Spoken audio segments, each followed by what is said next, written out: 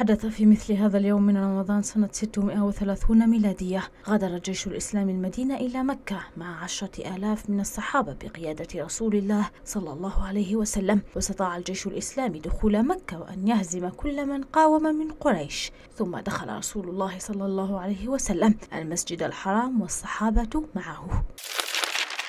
في مثل هذا اليوم من شهر رمضان المبارك بنى عقبة بن نافع رضي الله عنه مسجد القيروان سنة 671 ميلادية. تعتبر القيروان من أقدم وأهم المدن الإسلامية بل هي المدينة الإسلامية الأولى في منطقة المغرب العربي والتي يعد إنشاؤها بداية تاريخ الحضارة العربية الإسلامية في المغرب العربي. وتقع القيروان في تونس على بعد 156 كيلومتر من العاصمة تونس. والقيروان كلمة فارسية دخلت إلى العربية وتعني مكان السلاح ومحط الجيش أو استراحة القافلة موضوع اجتماع الناس في الحرب.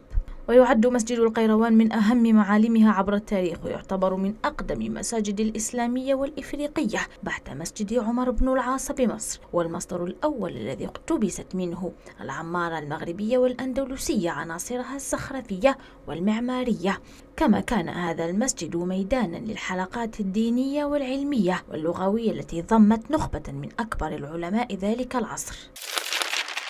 في مثل هذا اليوم من رمضان عام 222 هجرية فتح المسلمون مدينة بابك الخرمي بعدما ادعى بابك الألوهية وتفاقم أمره في عهد المحتسم العباسي والتف حوله أنصاره من الخرمية وهم طائفة أسسها مزداك الفارسي أيام كسرى أنشوران وتدعو للانحلال الديني والخلقي.